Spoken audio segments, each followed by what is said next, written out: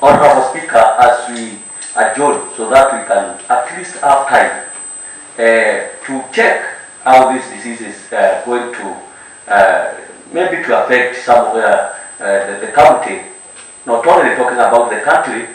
Honorable Speaker, I believe that this coun- county has taken a lot of seriousness when it comes to this disease. So, Honorable Speaker, I think as much as we are adjourning so that we can go out, we will be uh, not be in our houses, especially that we need to uh, educate our people when it comes to coronavirus, especially the, the, the rural areas. Honorable Speaker, I've traveled uh, during this uh, period, especially to the rural areas, and people are not even wearing masks. So, Honorable Speaker, since we have started now the CSR, it is important if we get something little in our pockets, maybe from the assembly, we can buy masks still to our people.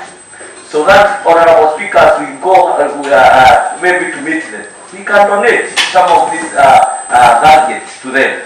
Honorable Speaker, I want, I want also to say that we have the county assembly uh, having taken serious uh, issues when it comes to coronavirus, Honorable Speaker, and we have passed budgets when it comes to coronavirus, Honorable Speaker, in this house, I think, Honorable Speaker, it is important. Also, we take care for ourselves.